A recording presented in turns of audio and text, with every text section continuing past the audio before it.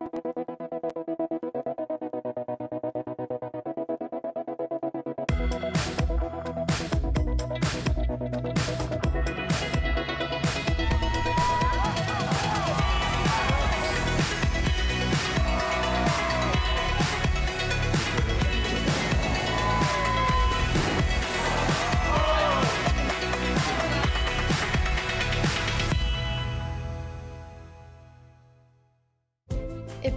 with our mission and values, a culture of innovation and collaboration, achieving a global perspective beyond the classroom, turning education and theory into practice,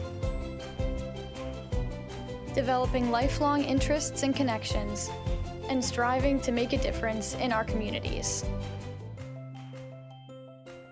Marist College.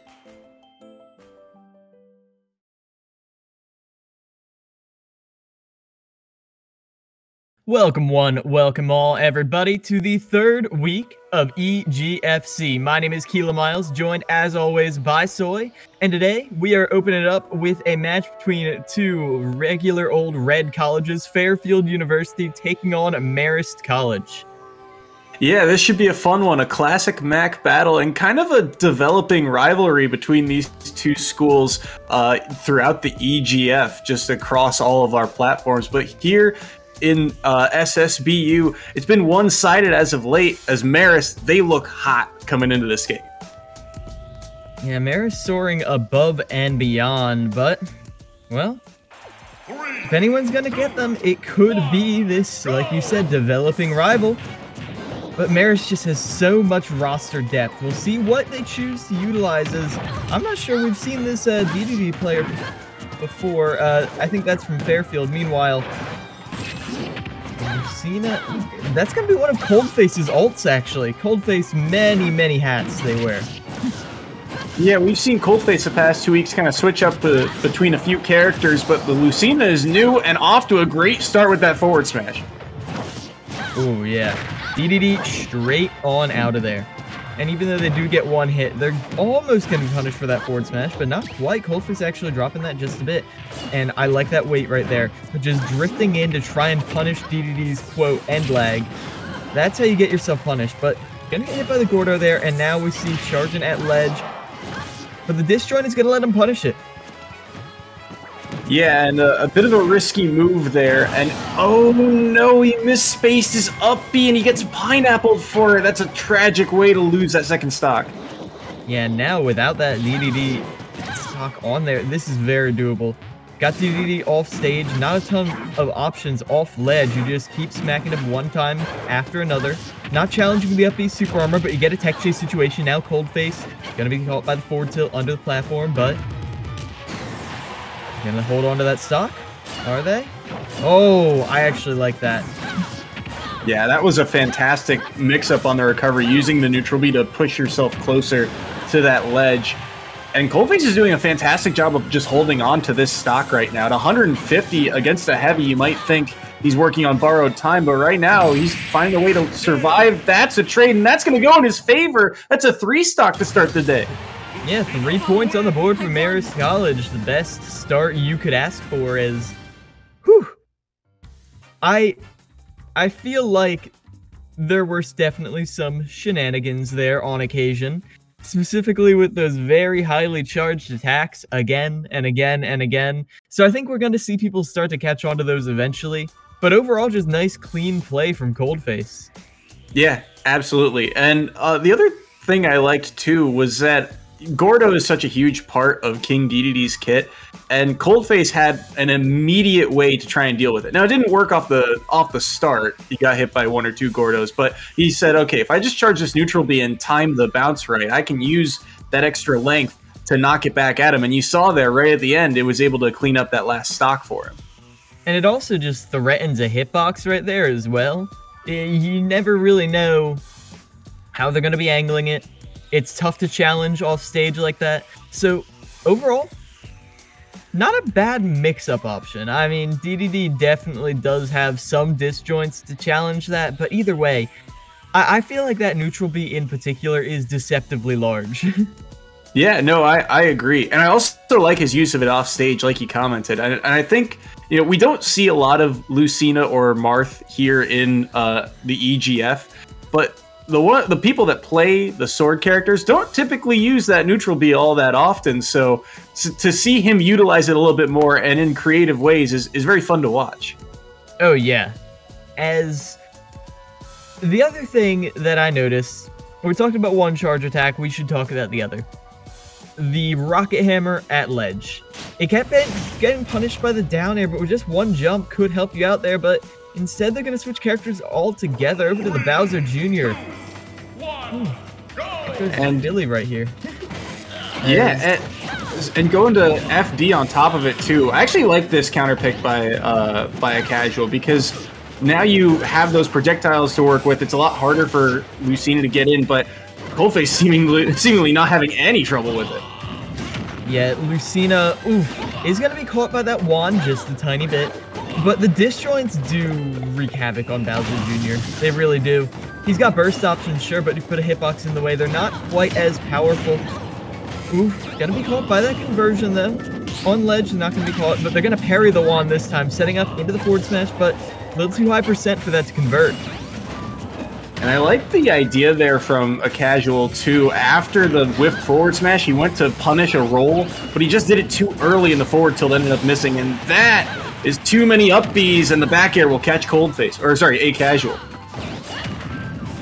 Ooh, just barely able to get back to ledge. I'm not even sure the up how to save them there, but either way, the forward throw will finish them off. A quick sucker punch. Now just using the clown car to get back to center stage. Gonna get caught by the up tilt though, and that's an invitation for some follow-ups. The Coldface drops it a little bit and it's even. Ooh, great catch on the uh, Mecha Koopa, I believe it is. It's called uh, as it spawns, and he got a little bit of a follow-up off of it too. So Coldface just doing a great job reacting. Ooh, and I like that preemptive forward tilt right there to say, nah, I'm not dealing with that wand this time. You got Bowser Jr. on ledge, and the roller is going to be caught with just a fade back forward air. That's all you need. Nice, simple tool. And the dash back forward smash, too. Let him whiff, get the punish. That's what Coldface is doing. Yeah, now a, a casual is in a huge hole here, down a stock and a half, it feels like, and plenty of work to do here as Coldface, the fact that he was able to survive so long on that first set really puts the pressure on a casual to make a play here on ledge. They're going to be able to get the reversal off of only one hit of that Nair, and they love to drop that off stage, but it's starting to get reactable, especially when you always land with the wand. Focus now on ledge. Slowly taking that center stage, but they're going to be caught by the forward air. That little disjoint. Trying to mix up the recovery again, but now you have the opportunity. You whiff against that, though. Coldface playing maybe a little too much respect. yeah, and ooh, that neutral B, yeah, that should kill. I don't think a casual was quite ready to DI that properly and ends up biting the dust for it. So Coldface, huge performance from him to start off the day. Are you kidding me, Coldface? Are you kidding me? I, I call you out for having too much respect for your opponent, and what do you do? You do the classic true combo, the true setup, bread and butter, shield breaker into shield breaker to get the kill at, below kill percent. You know, sure, why not? But hey, that's exactly what you needed to be doing. Maybe with that, not that move in particular, but just systematically using Lucina's speed and in terms of ground speed, air speed, and move speed to just take away the space because Bowser Jr. can't contest the sword. Like, you need to have a hard read to get through. Yeah, no, absolutely, and and you saw it time and time again too. And, and the other thing too was the the repeated use of of uh, certain options from a casual, right? How many times did he try and land with the wand, you know, and, and Coldface, just as that match went on, started to catch on more and more, caught the back air off that first stock, you know, later on was starting to punish. It was just, it felt like Coldface, excuse me, Coldface was in control of that match really from start to finish. Yeah, and there was some mileage definitely gained by A Casual at times, but it was never really long term. And it felt like they had a bunch of good options, but only one for every scenario. Like when you're landing from up B, you always do the landing wand. When you uh, have them at ledge, you drop the bomb down. And those are good options for sure. I've seen them get a lot of mileage in many scenarios, but if they're your only choice, then, well, it's not really any mix-up. Uh, it felt like, uh, it felt like Coldface just solved the puzzle, you know? Yeah, absolutely. I mean, we even saw him parry the the wand once, and I believe he got a, a follow up off of that. So it it's you know we're at the level where if you repeat a certain option numerous times, players are gonna catch on. And Coldface has shown now for three weeks straight, he's gonna catch on to a lot of these options. Yeah, and now Fairfield.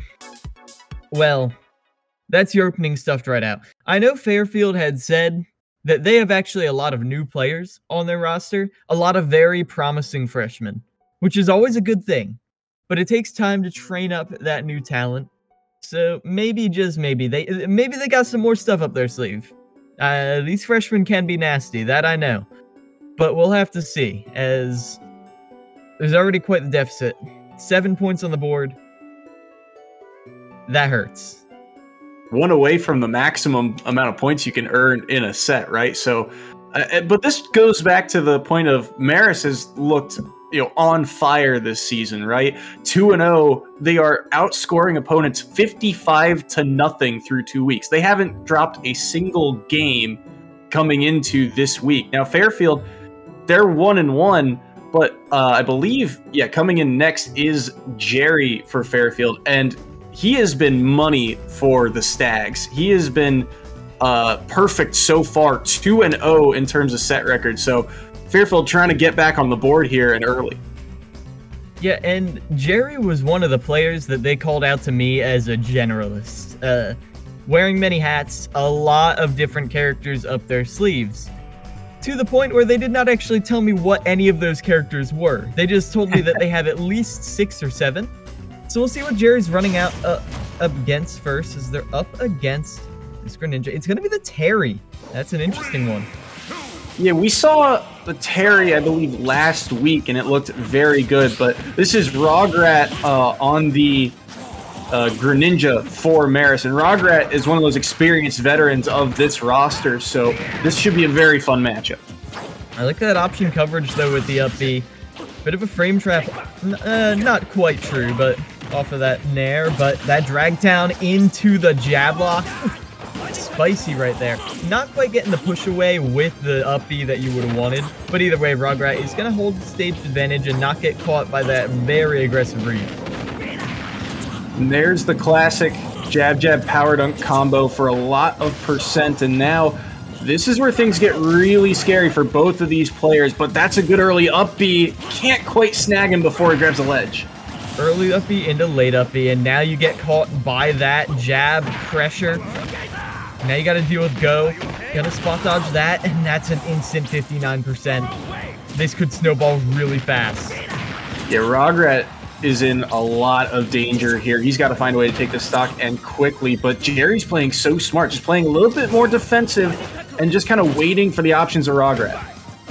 Oh, and that run into the shield right there. That was nice. That's saying, I know what you're doing. And if Jerry catches on to that, how they've conditioned them, eh, there could be issues. Is Right now, Jerry is slowly but surely edging out of any kill confirm ranges that Rograt might have. So just do the side B, cross up, avoid the grab, and now you have even stocks, but you're so close to dying, and Terry off of one jab can get that easily that was a huge cross up on the side B light. But like you said, Rograt has to play so careful now as Greninja is kind of on the lighter side of the cast. He's done a good job of getting Jerry up to 72% though. That was an ambitious up B. This is a huge opening for Rograt. Yeah, just like that, Rograt has made this almost even. Jerry not going to get caught by the dash attack, but having to re-grab the ledge, but Rograt was not in position to really punish that. Ooh, the long down air right there, just stack on a little more percent, but doesn't spike unless it's the very early hitbox. Gonna shield this water shuriken and get the counter as well, but the up invulnerability will actually save Jerry. That was so smart of them to up off of that counter. And now he's got go. So this is just back and forth at kill percentage. Dropped his shield a little too late, and Rograt takes the stock. Yeah, when you have half shield like that and you see a fully charged smash attack right in front of you, even if you know it's not going to break shield, there's still that little part of you it's like, you've got to do something, you've got to do something. And that is what Rograt preyed on. Jerry now is it okay to play the slow game as we've seen. Just wait for their one opening. As they hold this center stage, they're able to get just a little bit of chip damage, but that's all. Ooh, I like that. The first nair, and then just waited for Rograt afterward. Didn't try and follow up with anything immediately, but those jabs are going to push Jerry off stage, and now he's in trouble. Yeah, as just little, little conversions right now from Jerry is what I'm seeing. Rograt is, I mean, using Greninja's amazing ground game into the drag down jab lock again. Not the jump snipe, but that time it is. Going straight through that side B to get the stock. Jerry, one of the shining stars of Fairfield, has dropped their first game against Rograt. Yeah, and that's a huge, you know, uh, boost for Rograt too, because that was very close and very dangerous. He had to battle back there after losing his first stock, and really, I, gotta commend him uh, the way he played for you know, kind of playing for your stock. Right, that second stock he had to play so carefully. He was up to like I want to say 70% ish uh, very quickly because of Go. And to battle back through that and take both stocks afterward is a is a huge compliment to his skill. Yeah, and Rograt is a very unconventional Greninja player from what I've seen, to be honest. I mean, usually you see them running around fishing with that amazing down tilt, sometimes dash attack if they're getting a little ambitious, but down tilt is the name of the game. I don't think I saw it once from Rograt, though. Instead, it was a lot of chip damage with the water shurikens, making you antsy, and really good strings. Uh, it, I don't think they did a lot of true combos, but that didn't really matter because when you have them in the air and you make them pick an option, you're able to punish it hard with options like side B, and that's what Rograt relied on. Yeah, absolutely. I mean, how many times? I, at least twice, right? We saw that uh, drag down up air combo into uh, into the jab lock. So just fantastic stuff to him. Now Jerry did a really good job early on in that game of just doing basically the same thing, getting a little bit of chip damage, playing it a little bit slower, and seeing what he could get out of it. But at the end of the day, he's got to find a way to take that second stock off the board. And Kazuya being counterpicked here, so a little bit different, but similar style, I think. Kazuya Mishima. What is there to say except that he is being currently juggled? Not the greatest air options right now, and just fishing for this 10 hit combo at low percent. It's a nice opening, but they're not quite able to follow the DI, so Rograt slips right out, but they're gonna miss the jab lock, resetting the situation. You gotta play very careful here. And again, these drag downs have done so much work for Rograt. He's doing a fantastic job of catching Jerry in the air. Yeah, and not really teching any of these either. Uh, you'd think he'd catch on by this point, but it is a pretty fast first option, and it's not exactly what you expect, as that's a really good nair right there, spacing it perfectly on shield just to run away. And did you see that? That crouch, I think that was them still trying to SDI. Some really nice stuff to get out of that combo. Yeah, that was uh, I, I was confused at first. I was like, why is he kind of crouching? And then I realized, oh yeah, that's that's what you kind of have to do to get out of there. Oh, that was very dangerous, but Jerry's going to be able to get away that down there pausing. But that side B is able to take the first stock for Rograt. Yeah, the roll away right there, that was your doom. And now with Rograt having a full stock lead, they don't really feel the need to approach quite as much, I say, as they're right on top of Jerry's shield. But Greninja is usually pretty safe right there until you get caught by the side B. The crumple is a guaranteed fate. Now things back to even, and Jerry's got to find a way to take the lead here and get Fairfield on the board. But it's just been so difficult here. As could be an opening, but no, can't find the follow up. Yeah, not quite at all. Is that Nair is actually going to stop the up smash? All right, and now you got Jerry off stage going all the way out with that side B. No restraint at all from Rograt.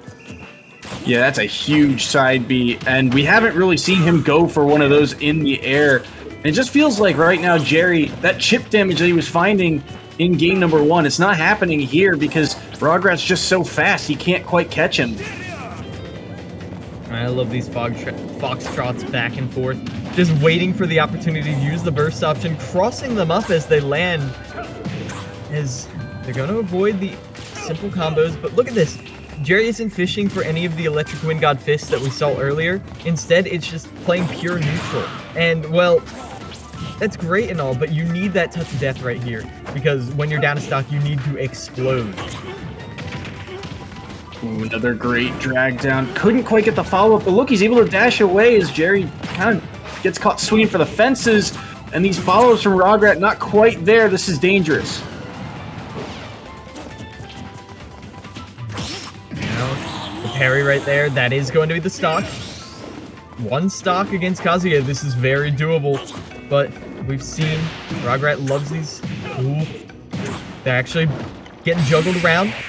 Able to dash right around behind them, though. I thought that was it for sure. But the ground movement right there, able to land back on safe footing, is it what is going to net Rograt the win is Fairfield for now, or Marist rather, remains undefeated. That was, I, I feel like Jerry just kind of got caught swinging for the fences. He wanted the home run off of that last combo. I believe it was forward smash right at the end and Rograt was able to, I believe, air dodge out of it at the last second, get behind him, and punish with a forward smash of his own. Just you know, an all or nothing gambit that didn't quite work for the side of Fairfield, and now they find themselves down eleven to nothing against a Marist team that just feels like the depth has really taken over this roster. Yeah, Marist is an enigma to me because they came out here saying how, oh, we're just playing to have fun. We're here. You know, if we win, we win. We lose, we lose. And they have been on a run, Soy. And they're not looking to slow down anytime soon. The ball just keeps rolling. Yeah, absolutely. I mean, through two weeks, to not only score 55 points is impressive, but to also keep the shutout, not drop a single game against anyone is a, a fantastic statement to them. Now, it's only been two weeks and it is a long and grueling season, but the MAC conference is usually very uh, tightly contested. And so, through two weeks in a conference that really, uh, you know, is pivotal, each win is so important. Marist is showing that well, even though they say they might be here to mess around, they're not here to mess around.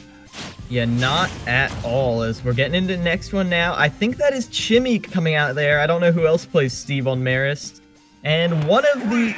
So, again, I think I had mentioned this earlier. Uh, Fairfield had mentioned they have three new Joker players, and T-Knowles is going to be the first one of them. But Chimmy, you've got to remember the punishes. You've got to put the respect on this Steve's name. 60% out the gate. That's almost an Arsene. Oh, there's Big Bro now. That was oh. huge. Oh, well, I guess Arsene not going to make an appearance quite yet. Not, not enough on that meter. There he is. Chimmy's Steve is a work of art right here. The movement, mixing up your landing options and the punishes when you get hit, baiting an option and locking you in hit lag because you dash attack the block instead of Steve. It's so hard to keep track of this character. It's like fighting a Looney Tune. It really is. And Chimmy does such a good job of you know, finding all those setups, and he's going to get the punish there on the forward smash. So T-Null's already down one. Now being carried across the stage again. Kind of a bit earlier, Arsene, but doesn't really matter when you can't get the hit to begin with. As that's a nice Tetrakarn, giving you some stage control. Jumping out of the minecart is going to save Chimmy from eating any of that damage. Jumping all around. Rolling back on the stage, though, is going to be your downfall. Straight into the kill confirm on the platform. Now T-Knowles has a stop. Ooh, but that that combo, I mean, Chimmy's he's got the bread and butter down right now, and T-Knowles is really falling victim to it as he's at 121. No Arsene probably online for this stock, barring well a lot, but. It's not the bread and butter. This is the whole sandwich right here. Yeah. it does feel like Chimmy has all of the tricks up his sleeve, and it's constant aggression right here as they're going all the way down, trying to crash their party with the minecart as you carry them up again, all the way up to the top, but they're not quite able to finish it. There is a block limit in Smash. Yeah, uh, and it feels like Chimmy right now. I mean, T-Knowles has Arsene, so this is not out of the woods quite yet. If Chimmy holds on to this stock, though, well, instant karma, I guess. yeah, Tinoz, we do got to give credit. I mean, Chimmy, maybe a little more stylish, but Tinoz has been finding the ways through the maze again and again and again. But now you're sent off stage thanks to the down smash. Tries to get off stage, but right there and then you're gonna get caught by the pickaxe. That's straight off stage. And Chimmy does get another one point on the board for Marist. Yeah, and Chimmy, I mean, you can tell he looks so dangerous. It's like you said, uh, the fact that he has those combos pat down, right? Just fully 70% off of the start. And it feels like he can set it up from just about anywhere, right? So it just makes it so much more difficult when you know you have that that stuff down. And Tinoz, even though you found a way to get two kills, it felt like Chimmy was really in control of that match from start to finish. Yeah, and you know, in Minecraft PvP, used to be the meta to have fishing rod always in your right hand. Well, that's exactly what Chimmy's doing because they are fishing constantly. It's all the time. And that I think is Chimmy's weakness. They've got this amazing combo game and they want to use it. They are rushing in nonstop. And one of Steve's greatest strengths is to be able to control the momentum of the game. And while I do not mind Chimmy constantly rushing in, it is what leads to a lot of those trades. And then one misread at a high percent, you're down a stock. Yeah, and uh, and that's really what Tinoz was able to uh, take advantage of, right? Because he was able to find those two kind of mistakes from Chimmy. And I, I think the other part of it too is uh, when you have, uh, sorry, because Arsene ha- is on that meter. I feel like Tinoz, we didn't really see Rebels Guard a lot, but I feel like that's why Chimmy kind of threw out more grabs. He's like, okay, if the kill power is going to come from Arsene, let me just throw out that grab that's going to beat the Rebels Guard and see what I can get off of it. But Tinoz really didn't use Rebels Guard all that much. Yeah, certainly didn't, and they didn't really need to because they were just getting Arsene off of combos. Combos alone. So we'll see if they're able to clean it up now as they don't have to deal with a lot more of the extensions, but Steve brings his own platforms. 60% instantly, the Chimmy Classic, and they're able to carry them across the stage with that soft spike, but not quite enough to kill yet. 95 on the board though, one misread and you're dead. Oh, the and patience though, right there. Yeah, that was spooky. And I mean, if you're Tinoz, yeah, there goes your stock off the off the one combo, the up smash cleaning it up. 16%. I think he only hit him once that stock. And it, if you're Tinoz, I mean, what do you do when you just constantly are being hit like this? It takes away so much of your momentum and so much of your game plan. Yeah, that again, 63%. Chimmy has got that one.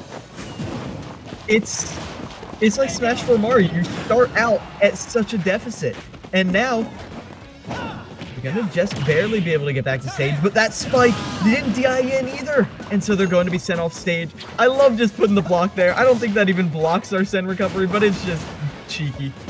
I think he even lost Arsene too. He was too far away to grapple back to stage. So Chimmy, huge start here and working on another one. If you can get this combo, there's the grab. And not going to hit the Rebels guard either. Tries to hit the up tilt, but not quite out of that ma main true combo range. But hey, they got the high percent combos too. Waiting out the counter as well. Chimmy, that's the second time they've done that in a row. Such a read on when Tinoz is panicking, when they want to throw out that counter. And now they're off stage. They've got the tether recovery, so a little bit safe and sound, but those blocks trip them up a little bit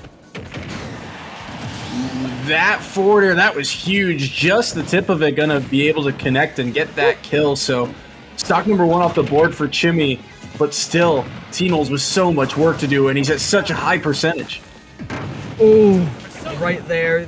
I, I like the idea. You know they love that uh that up smash to try and armor through it, but now Tetrakarn is really the only mileage that Tinoz is getting, and oof, trying to go for the cross up right there puts you right in the forward smash range. Chimmy's not going to let you get away with that. Another two points and make it two more. Double or nothing for Marist right now as they would need a perfect game right now to win this. And I don't think Marist is going to give it to him.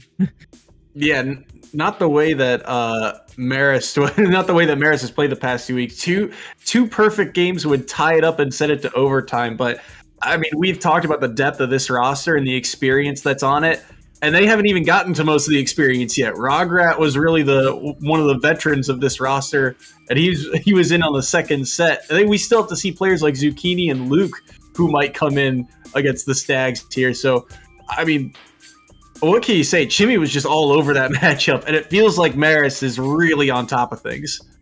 I love that Steve's in this game, Soy.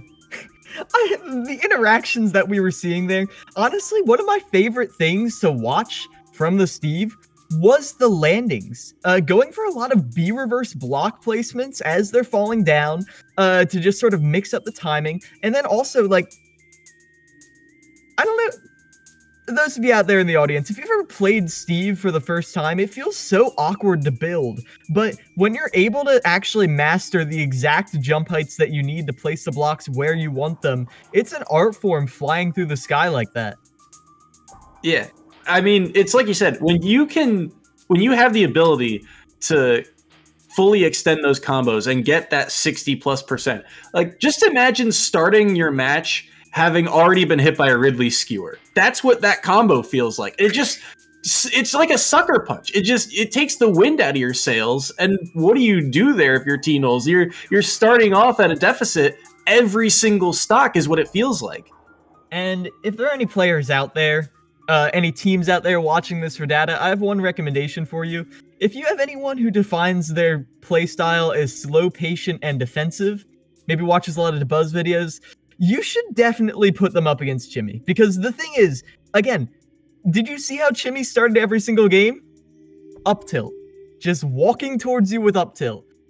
Mm-hmm. And if they hit that up tilt, it's the 60%, but it's not an especially good approach option. Um, so if you're able to find just someone who can show Chimmy that their game game plan isn't going to work, force them to adapt on the fly. I think they're going to have a really good chance against that Steve. But for now, Chimmy going to take the W as Marist extends their amazing lead.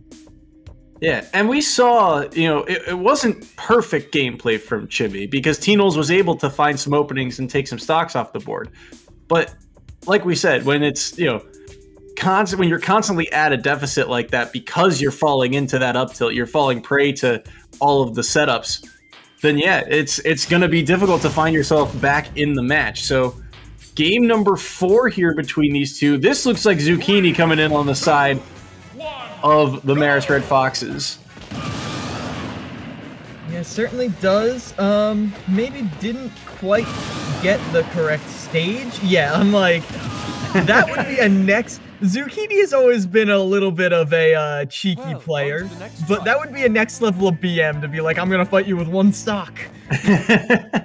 and it looks like he'll be going up against Heath, and Heath is another one of those newer players for Fairfield who will also be uh, using Joker. It looks like, and Heath for his new for how new he is to the EGF, I think he's actually been uh, pretty fun to watch. I believe week one he got a victory against, I believe it was St. Peter's, and uh, last week they struggled a little bit more, but you know you can see again the, the flashes of brilliance are there. It's just a matter of can he put it all together on the same week. Yeah, well, that's what's being put up against up for the test against Zucchini himself.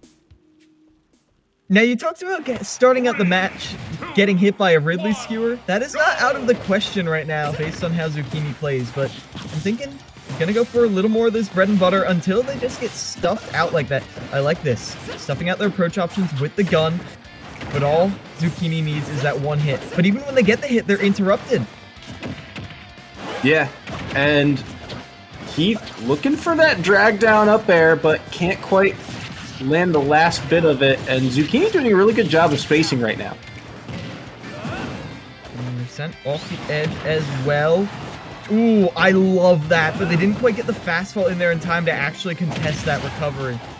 Now you're actually able to get Zucchini off the edge, though, and I don't think Zucchini was ready for this level of patient play. Yeah, I mean, T-Knowles get, or sorry, uh, Heath gets a little bit greedy, and he's going to get side beat for it there losing his first stock, but I like the fact that Heath was willing to go out for the edge guard. It just feels like he's kind of tunnel visioning, excuse me, on these edge guards. Oh, and I love using the multiple jumps there to just weather the storm of that hail of bullets. as now Zucchini playing underneath this platform really well. This is how you control stage on Pokemon Stadium 2. And Heath now has Arsene on the board, but Zucchini, again, with all the stage control, just not making it easy for Heath to make good use of it.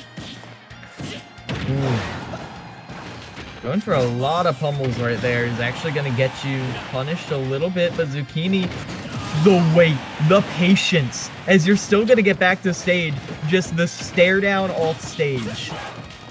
That was that was beautiful too, and, and it was instant recognition. The second that Rebel's Guard was used off stage, he just goes, "Okay, I'm gonna wait this out. Three, two, one, back air, and he cleans up the stock."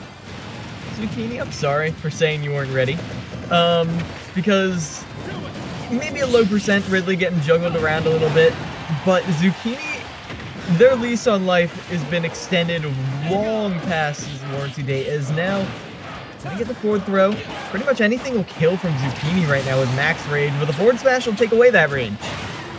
Yeah, that was huge for Heath, just to get a little bit of momentum on the board and take that first stock.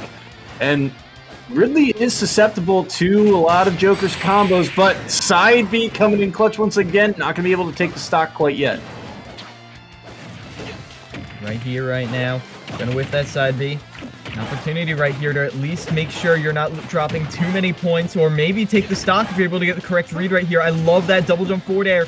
The low percents for Heath have been so good, but now you're getting to the part where you struggled before, the high percents. How are you going to find this kill? Rolling back, giving Zucchini the respect they need because any hit will kill. Sent off stage. Able to get part of the counter, but at that angle, you're not going to get much mileage off of it, and the back air on shield is not safe with that spacing. Back there, not going to kill quite yet, though. That was huge, and he's still surviving here, but I feel like Heath's game plan right now is to just kind of chip away at this damage, and it's only going to work for so long because Zucchini's character just has so much raw kill power. Yeah, that is going to do it. Straight off the top right there, Heath. Kind of heartbreaking, to be honest, of how they open it up, and then Zucchini just activates Ultra Instinct at high percents, and you can't quite find the way in repeatedly. Yeah, uh, and I feel like again, I think Heath just kind of tunnel visioned on a couple of uh, opportunities. Like, I love the fact that he was willing to go out for some of those edge guards, but especially late when he's trying to make that comeback, he get he gets the double jump forward air uh, to knock Zucchini off stage, and then he goes for two side Bs in practically the same spot. And I understand that you want the the damage that side B provides, but doesn't really do anything. If you go out there once more, you kind of threaten that presence a little bit more. You can cover more options. And it just kind of felt like he was so focused on not dying that he wasn't able to secure stocks. Yeah, I do feel like that is a weakness when it comes to defense at times. You've got to know when to go in. Maybe not so much as some other players we have seen. Uh, maybe not like Chimmy, but yeah, it, and it really did feel like their advantage state was so strong. Did you see the edge guards they would get on Zucchini? Zucchini tried to go high, middle, low, middle, low, every single option, and it kept getting covered.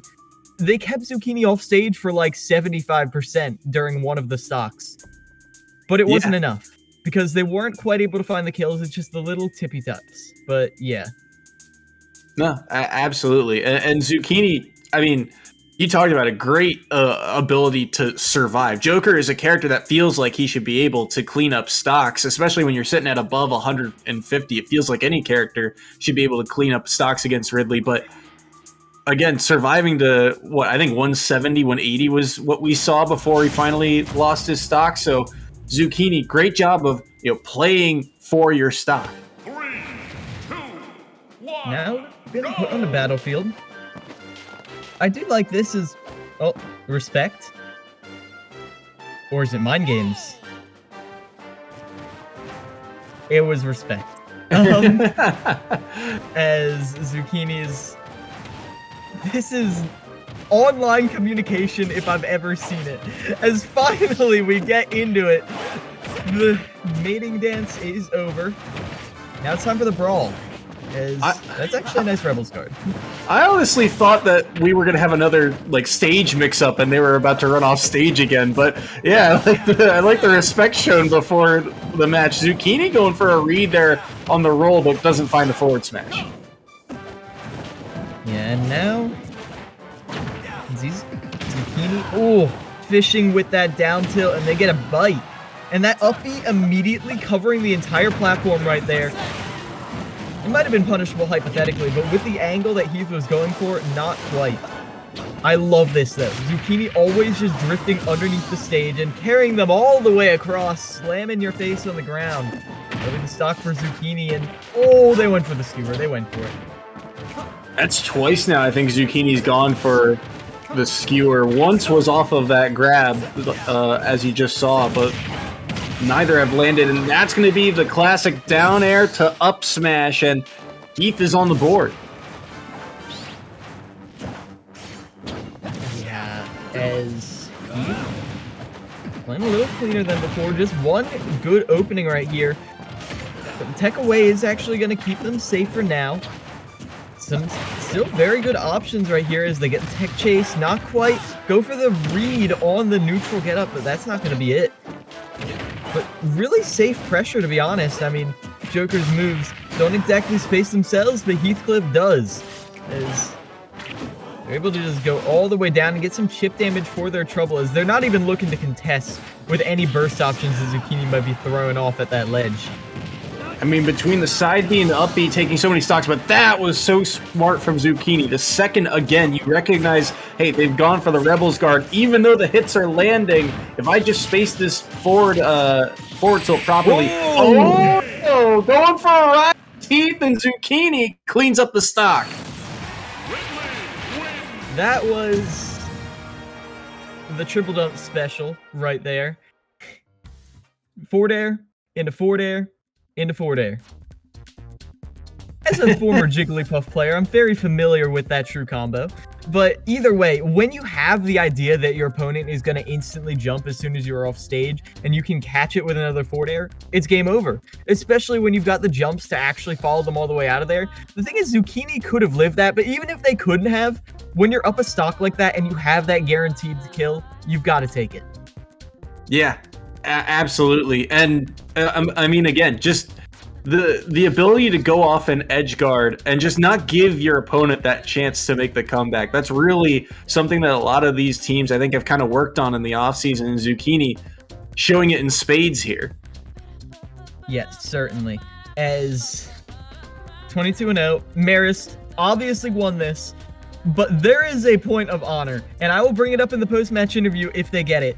Fairfield has the chance to end the streak right here and now with an amazing performance from what looks like it's going to be IV is our next player, and they're up against Perfect Effect, Perfect Effect X.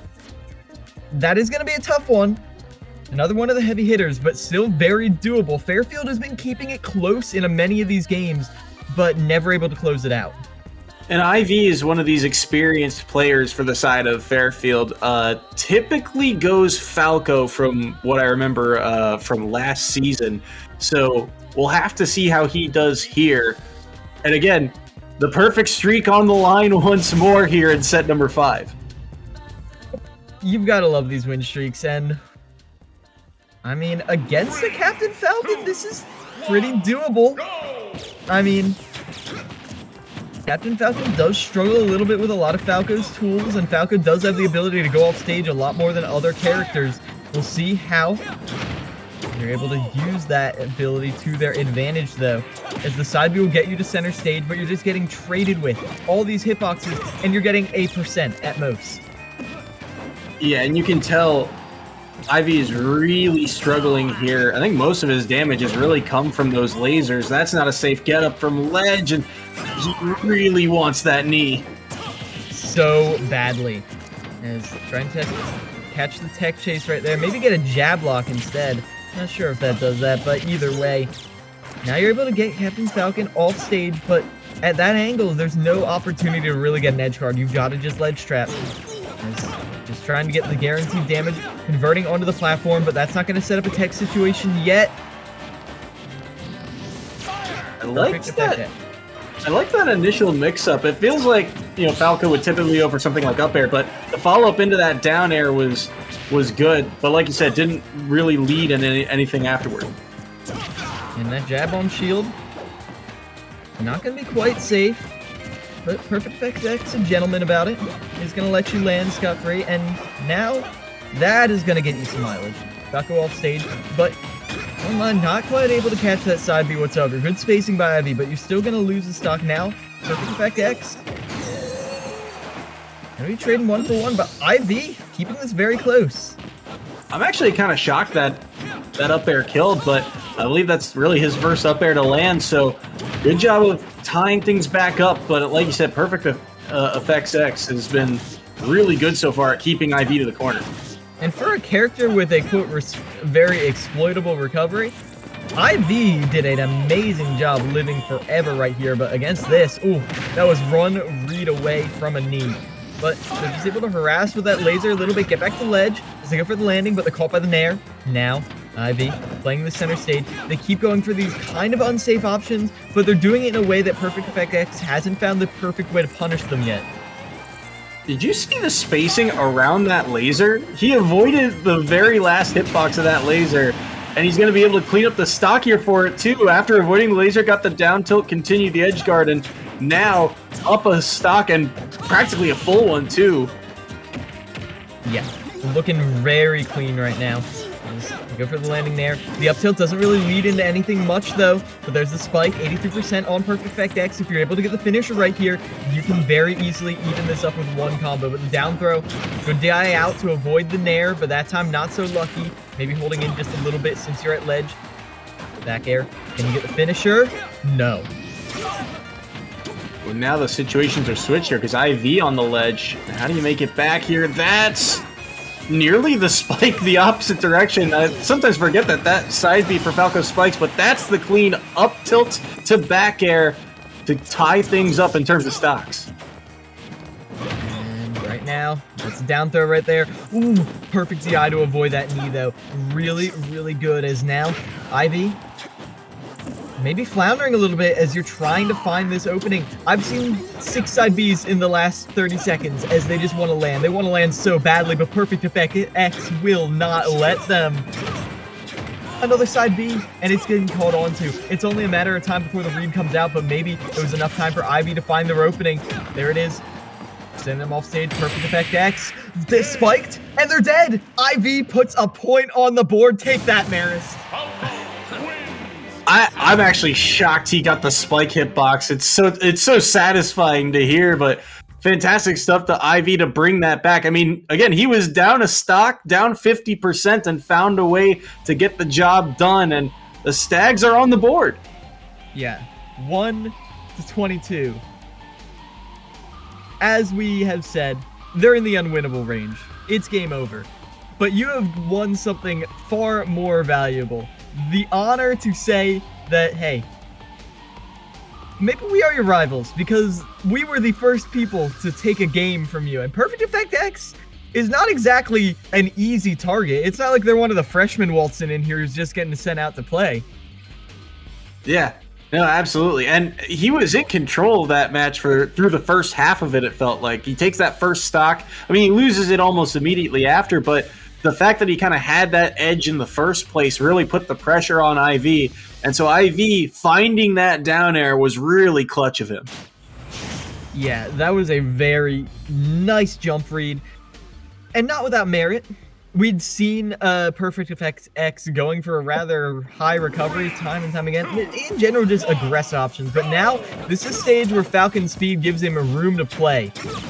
Doesn't matter that your dash dance takes eight years if you, you know, can do it across the stage and then run into bursts. Yeah, and uh, you also have the walls of Kalos to help your recovery a little bit too, making recovering lower uh, a little bit more helpful. Now, uh, Falco also gets that benefit, but we'll have to see what the edge guards look like from here on out. As right now, Perfect Effect X is all over IV once again. They wanted that so bad, but they're to avoid the up tilt right there. Perfect effect X. Going to keep them at ledge.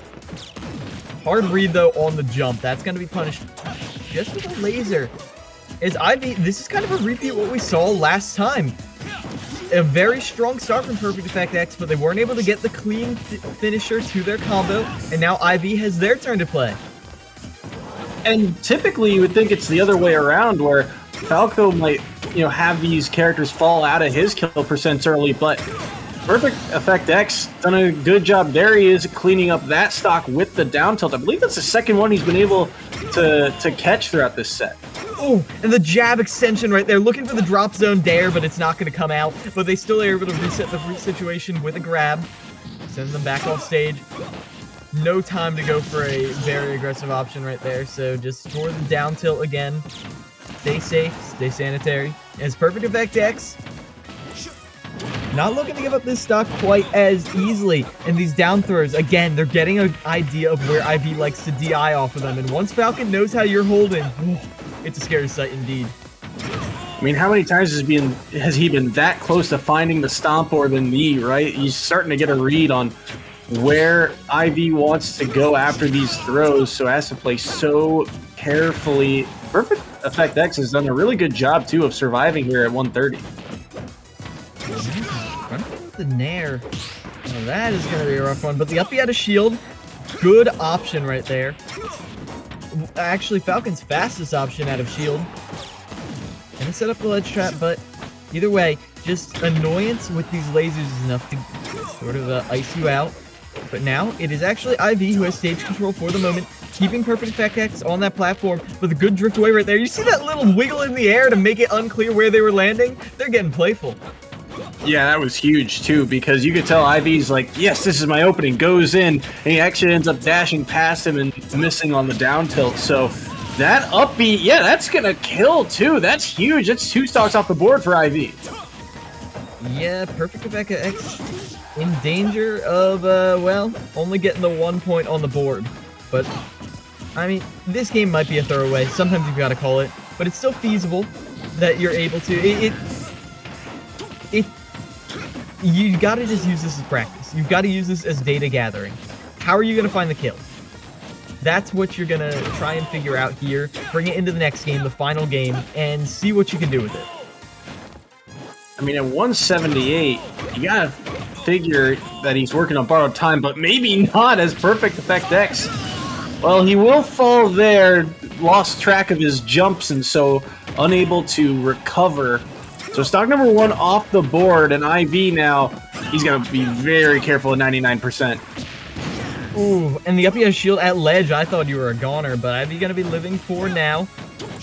Just poking with that down tilt, trying to get an opening right there, but the spacing on that side B wasn't quite enough to lead into a combo.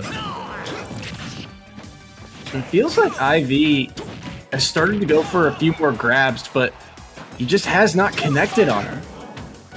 Oh, I love running your head straight into the side to avoid it right there, but if the first side B up B at ledge didn't kill, that one definitely will. IV, sent off the side. Some more points on the board for Marist, but they don't really matter. Because now we're going into the final game. Can you prevent dropping a set? That is the key right here. Fairfield definitely has the tools to get some more points on the board. The question is, can they?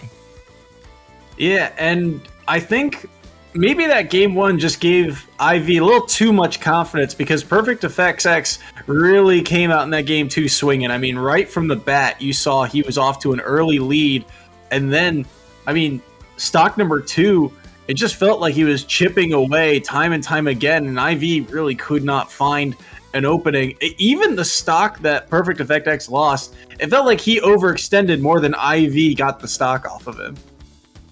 Yeah, it definitely was. Sometimes you get caught up in the ecstasy of combos. It's easy to lose yourself. And landing up airs is Falcon. Ladder combos in general, you just want to keep going. You just want to keep climbing. And even though some characters can, hey Chimmy, um, it when you're going off stage like that, especially to try and drift out and get the finisher with a knee, it's really easy to get overzealous. yeah, absolutely. And uh, as we get ready for game number three between these two, I mean, I can't imagine a character switch, but it certainly is not out of the question. Nope, they're running it back one more time. So let's see if the perfect set count can stay for the Red Foxes. Yeah, moving the goalposts a little bit, but hey, you got to keep the narrative up somehow. As, again, poking. That is the how they start out, but a bit of a different start. Usually it's Perfect Effects X who gets the massive lead in the opening. Instead, it's IV who got the up tilt, and they are not dropping this. The Nair right there, not overextending, and I love using the platform right there to delay your dair just a little bit. Resetting on the platform, but falling through with the up air is just barely to miss the in place. I really love the pressure from IV right now, and he's threatening the offstage movement as well. Perfect Effect X has really dipped low the last two times, but possibly the follow-up off that grab. Nope, just gonna hold back, and now here's the chance for uh, Effect X to strike back. Perfect Effect X. Is going to be caught by the up tilt back air. That is something we haven't seen too often, but at ledge, that's pretty much guaranteed right there to be your downfall. Ivy with the pretty good stock lead, but right there, oh, good DI down to avoid the knee there. Yeah, that was really good, and IV at 85 is at kill percent of a strong hit from Perfect Effects X. But again, he's done such a good job of avoiding those strong hits, avoiding those knees. And so far at 92%, he can hold on to the stock. That's a lot of momentum for him. Yeah, Ivy can definitely close this out. Is again a very aggressive side B. Perfect Effect X hasn't been catching on to them, so if they haven't, then you might as well keep using that movement option until it gets hard called out. Oh, speaking yeah, of hard called out.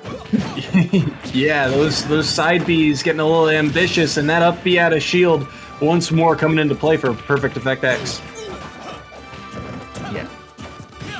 Pressuring the shield with the up tilts that high up. Ooh, that was almost a kill right there. Not quite able to do it, but running forward with the down tilt, the split to take away Perfect Effect X's stock. Taking off stage on the Nair train though, but with only a stock, you can't overextend like you did before. IV really controlling the tempo of this game in a way they just couldn't on Kalos. You saw Perfect Effect X go for the immediate equalizer on that stomp, but he doesn't quite get the spike hitbox, and now this is going to allow for a chance for Ivy to get some extra credit. Those side Bs, again, a little ambitious, but Perfect Effect X has not been able to punish them so far this set forward air, catching the run in. Perfect effect X, the freight train. Maybe need to pull on the brakes a little bit as they try and slow down. Do some nairs in place. Make IV get a little antsy. But either way, they miss the tech in. Only one hit of that up tilt connects, though not enough to follow up into that dair IV tried. The laser interrupting Perfect Effect X's edge guard there, and IV still a full stock up and that back air nearly going to do it. Perfect Effect X in a lot of trouble here. Good job avoiding that back air. Yeah, they wanted that dair so or back air so bad, but not going to be awarded it. The up tilt out of shield again. The down tilt not quite going to kill. Going all the way up to try and get the finisher. Perfect Effect X has to be wary. How are they going to get the punish right there? Try to run forward with the up B, but that is going to be your doom. It's a fast option, yeah, but grab, the hug isn't quite as big as you think it is. Gonna be taking out, and well, if I'm counting correctly, that's five points on the board. Yeah, Fairfield University, a respectable showing right here against Marist, who frankly have looked unstoppable. And if IV is that veteran player who has been coaching all these new players on Fairfield, I think we're going to be seeing some better stuff coming out in future weeks from Fairfield. I mean, you got to remember Fairfield last year was one of these teams that really struggled last season. They were towards the back end of that MAC conference. And so to start this season at 1 and 1, uh, although you fall here to Marist to fall to that record of 1 and 2, it's about kind of separating yourself from the pack. And the way Marist has looked this season to shut them down, to get points on them, to show that they're not invincible is a really big start for this Fairfield roster. Yeah, Overall, I feel like Marist is one of the more unique teams we see just in the pure variety of what they've got to show for. Even the freshmen are just dark horses. Uh, it, it reminds me of, first of all, I think Chimmy is a freshman. Um, that's kind of wild. But beyond just that, we also have players. I've got to shout out the homie, Stinky Cheese782 going to be thriving off of these new buffs coming to their character, but they come out here and they get three stocks too on lesser teams, so I, I don't know.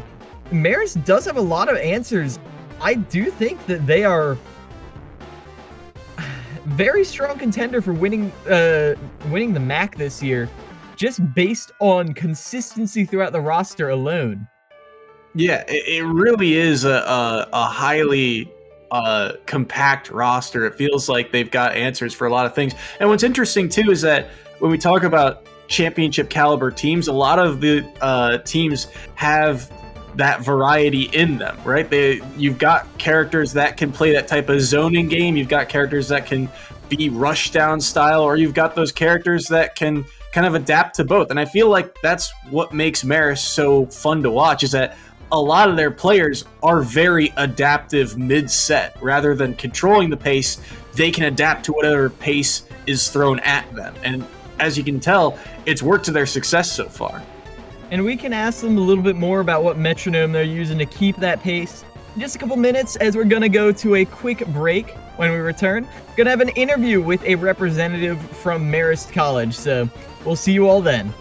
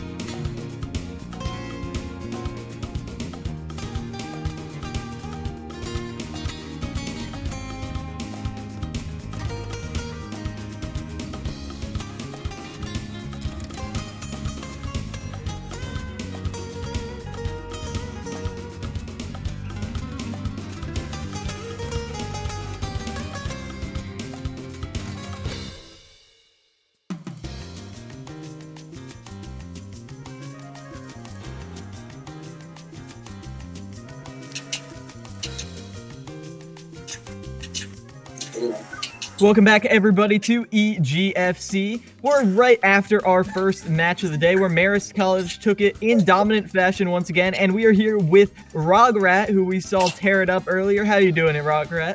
I'm great. How are you? I'm doing fantastic, and I assume you all have to as well as Marist College has come out the gate swinging. Like, you haven't dropped, well, up until now, anyways, you had not dropped a single game, a single set, but your streak has been broken. I hate to start it on a low note, but how's that feel?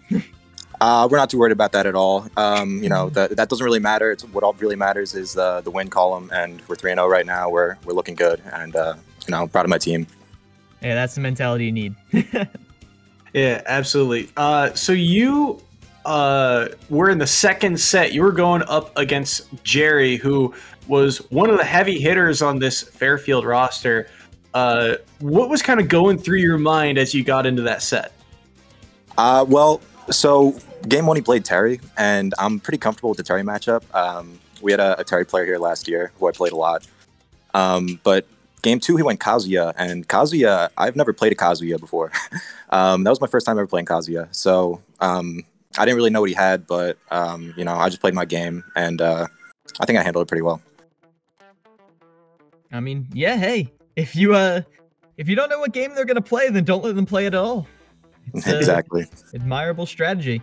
But either way, that kind of was the the option select, I guess. I did want to ask about uh your match as well. I had noticed you really like to go for these like really heavy hitting strings but then you just always love the drag downs. Like, how? Like, what is in your like mind as you're going for these like all of a sudden cutting your combo short for the drag down into the finish? Like, that seems to be your signature. Yeah, I, well, with the drag down, I don't really think that that's cutting the combo short. I think that that's a it's a unconventional way of extending it and um, setting up into something stronger. So, you know, if I can get the drag down and they miss the tech, or I can get a dash attack out of their tech roll, then it, you know, the combo just gets longer. And, um, you know, I think that's the way that you have to play Greninja and you have to extend his combos because his combos are kind of limited. So being able to extend them with that is uh, pretty big. Okay. Imagination right there. Good for you. I, was, I was actually going to ask, uh, I don't know how long you've played the game for, but how how did you end up settling on a character like Greninja? Um, I I started playing pretty much my freshman year here, uh, which was three years ago. Um, and I looked for a character for a pretty long time, and I just came across Greninja because uh, you know I like Pokemon, and Greninja's fast. He's got a lot of cool combos, and that's what I like in a character. Um, I played melee before Ultimate, so ah. um, having a, a, fast combo heavy character was uh, comfortable for me and then uh, you know it just kind of clicked. I practiced him up, and um, now I'm I'm here. He's uh he's he's been tearing it up lately. yeah, you're Absolutely. definitely showing that. And I actually did want to ask one last question before we head out. You've got a lot of heavy hitters on your team from bottom to the top. So I've got to ask, who do you think is probably the most underrated player who's actually like really sick on your team. I, I know you can say all of them, but who in particular do you want to shout out as secretly being really sick and they haven't really gotten to show it yet? Uh, I mean, you know what? At this point, um, we've seen most of our players. We've got like 10 players that I think could realistically start on most teams. But if I had to pick one underrated player, it would have to be Stinky Cheese. Uh, his Jigglypuff is a menace. Jigglypuff just got buffed, and he's been labbing out all the new Jigglypuff stuff. Like, he's a he's a force to be reckoned with. Uh, so that that's definitely my pick. Okay, let's go Stinky Cheese seven eight two. I think I got that right. But either way, thank you very much for doing this interview right now. Uh, honestly, I wish you best of luck. You're looking like a very strong contender for the MAC. Yeah, thank you for having me. Of course, of course. And with that, we're going to cut off the first game of week three, but don't go anywhere. We are going to be back soon with another game in just a little bit. But for now, I've been Keel Miles, casting with Soy. We will see you when the second game starts.